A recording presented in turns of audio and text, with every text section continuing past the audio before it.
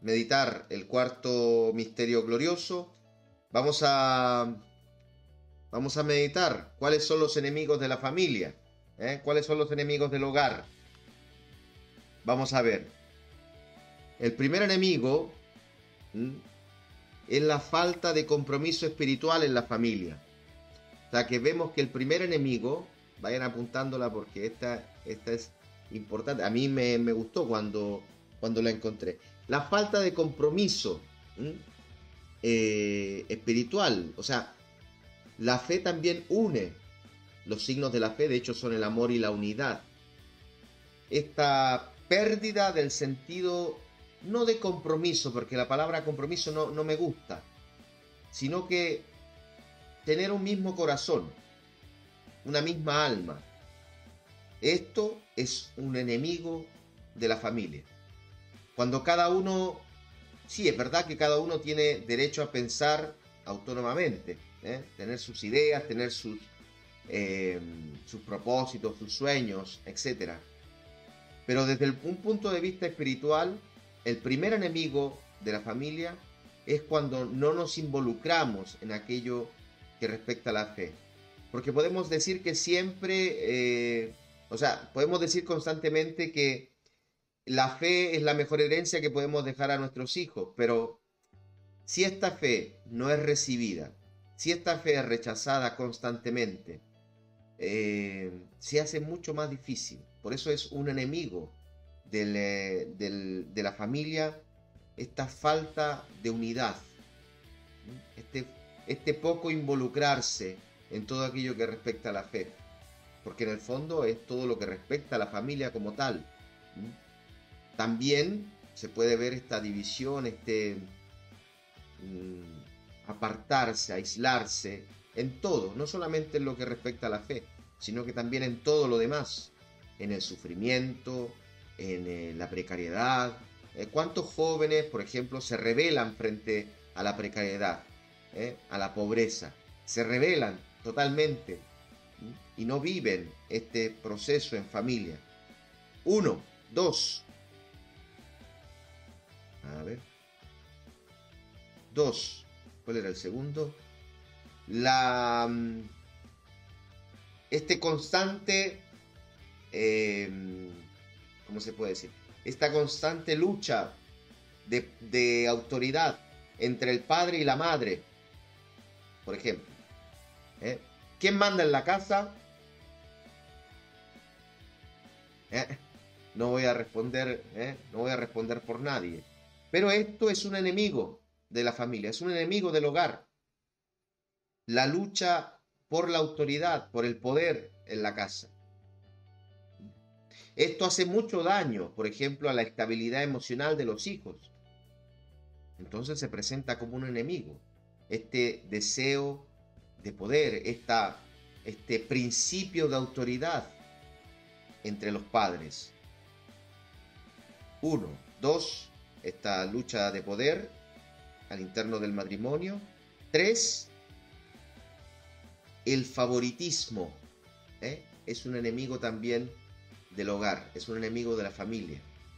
Que es una cosa natural, vamos, es una cosa que, que muchas veces no nos damos cuenta pero que también hace mucho daño. Es un enemigo de la familia. El favoritismo. ¿eh? No es que mi hijito, no es que mi hijita, que tú eres mis ojos, tú eres mi sol, tú eres mi no sé qué. ¿eh? Este favoritismo. Y, y a veces lo hacemos sin darnos cuenta.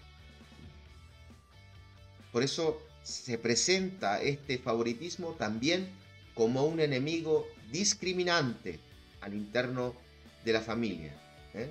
que separa, que divide. Por eso tenemos que estar muy atentos. Tercero, cuarto, ¿eh? un enemigo serio de la familia es las malas compañías. Eh, es importante esto que tengamos en cuenta, porque la familia como, como elemento eh, unitivo no puede sufrir este ataque de las malas compañías, de las malas amistades. Porque puede que sean amistades, por ejemplo, del padre o de la madre, pero que de alguna otra forma atacan la integridad de la familia, la integridad del grupo familiar. Por eso hay que tomar en cuenta cuáles son las compañías, los amigos de la familia. Yo doy gracias a Dios porque siempre eh, los amigos de mi familia, eh, que sin duda eh, muchos de ellos eran amigos de mis padres, nunca vi que atentaron contra, contra la unidad de la familia. No. Todo lo contrario, siempre lo digo yo que los amigos en, mi, en mi, tierra solemos tratarnos como primos. O sea, uno va a casa de un amigo y dice a la, a la madre de, mi amigo, le, yo le llamaba tía, ¿eh? le llamo hasta hoy día muchas madres de mis amigos.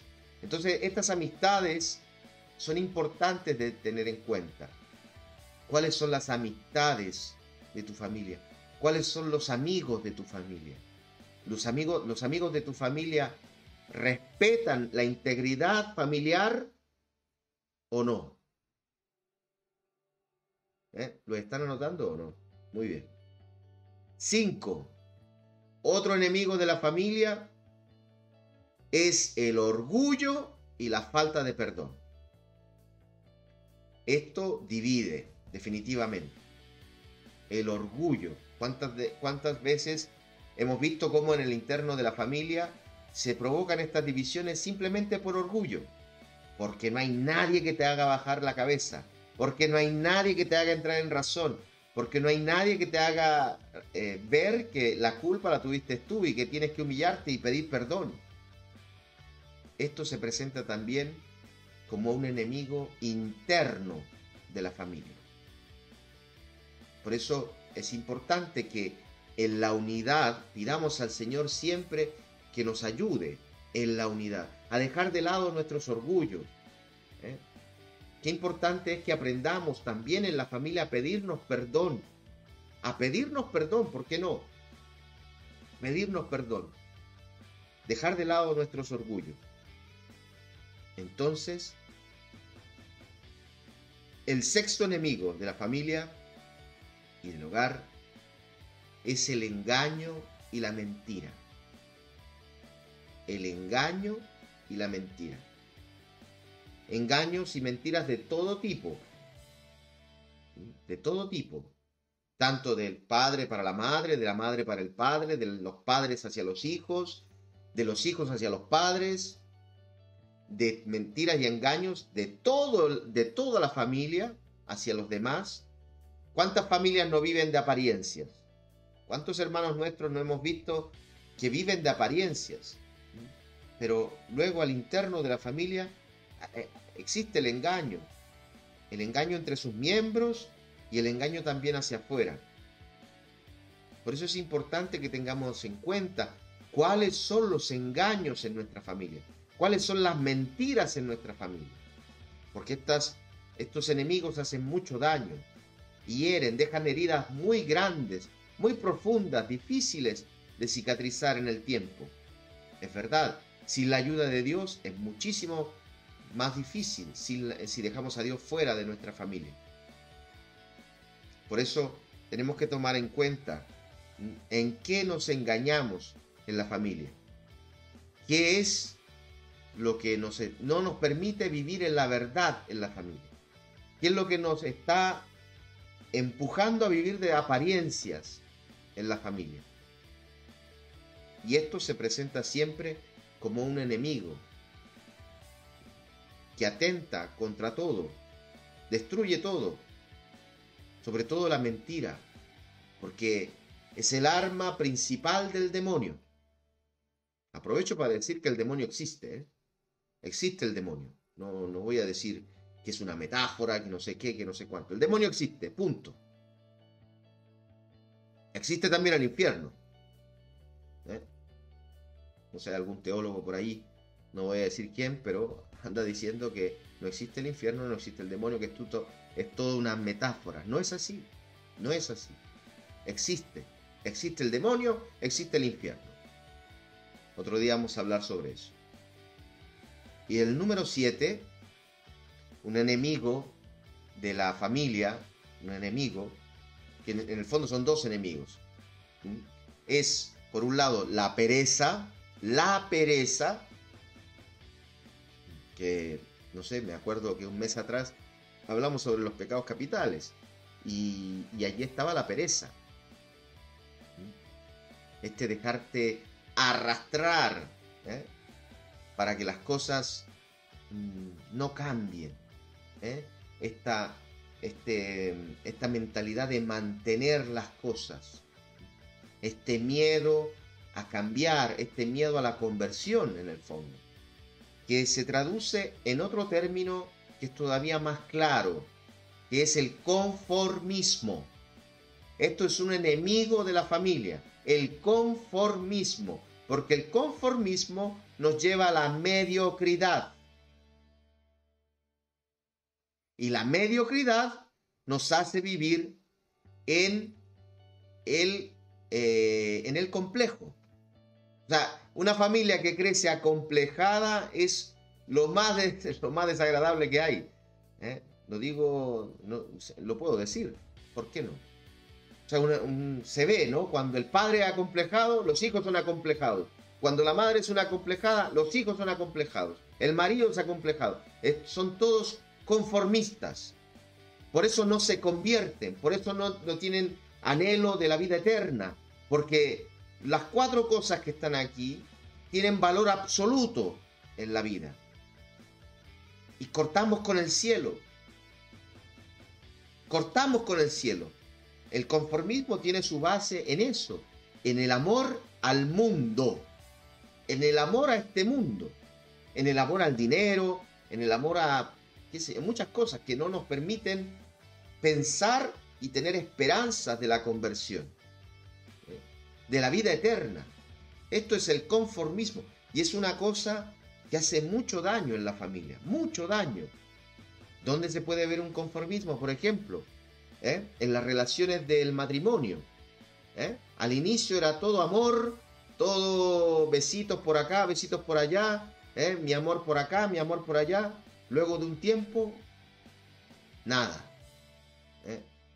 Nada. No voy, a, no voy a contar chistes porque no, no, no soy de, esa, de ese tipo. ¿eh? Además, no, sirvo yo para contar chistes. Pero es verdad. Al principio tú te arreglabas ¿eh? para que te viera tu novia, para que te viera tu novio. ¿eh? Eras todo así impecable. Te casaste, ya andas con pijama todo el día. Ya no te arreglas, ya pierdes, pierdes el amor por ti mismo, por ti misma. ¿eh? El deseo también de compartir tu bienestar con el otro. Ya nada interesa, es el conformismo. Ya me casé, ya tengo mi mujer, ya tengo mi marido, me aseguré, tengo los hijos, tengo perpetuidad, entonces ya hice todo. Y la vida es plana, chata. No hay ilusiones, no hay proyecto de vida, no hay un programa de vida, no hay nada que poner a los pies del Señor en la voluntad de Dios. Por eso quería, quería reflexionar sobre esto hoy día, dado que el, eh, el, el esquema del Rosario de la Virgen de Satanudos dice que después de el tercer misterio es necesario hacer una reflexión para la familia. Así que, resumiendo, ¿cuáles son los enemigos de la familia? El primero, la falta de involucrarse, ¿eh? de involucrarse en lo que respecta a la fe y en lo que respecta a las cosas prácticas de la familia. ¿eh? Esta comunión, este sentido, para que me entiendan, de que somos un equipo, ¿eh? de que somos un equipo. Como decía D'Artagnan, ¿no? uno para todos y todos para uno. Este sentido, el primer enemigo, esta falta de este espíritu en la familia. El segundo es la lucha de autoridad entre los padres. Tercero, el favoritismo de los padres hacia, hacia los hijos de los hijos hacia los padres. Cuatro, las malas compañías, las malas amistades que atentan contra la integridad de la familia. Cinco, el orgullo y la falta de perdón. Seis, el engaño y la mentira. Y siete, la pereza y la conformidad. Así que podemos rezar